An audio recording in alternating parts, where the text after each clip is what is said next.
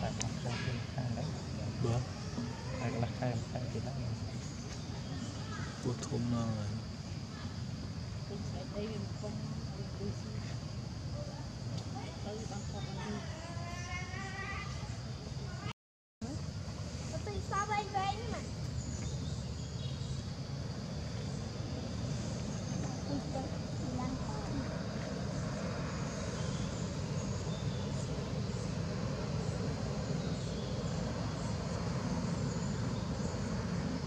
ស្មានណាវាជួយទៅ រកពងតែរកលឹក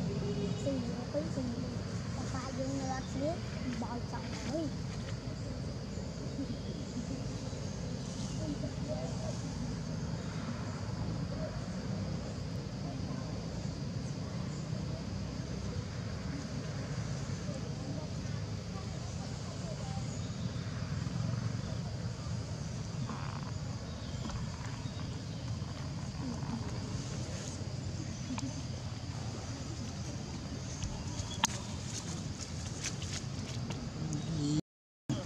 យាយនោះនិយាយថាឲ្យស្វាឲ្យទឹកបៅទៅនឹងអត់សះហើយអាចមក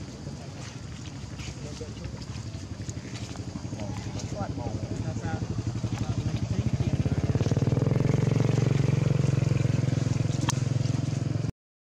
ក្នុងព្រៃវាដេញដែរណាពីអញមៀងអញមៀងមានផ្ទៃពោះយ៉ាងគួយគួយតែ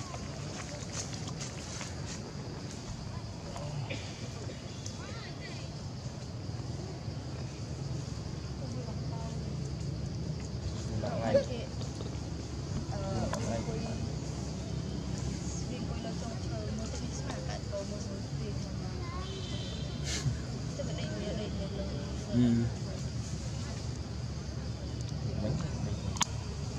mình đây đây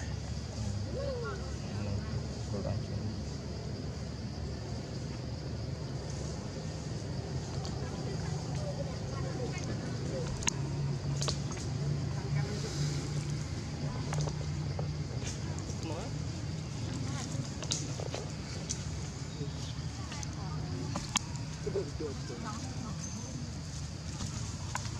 Thank you.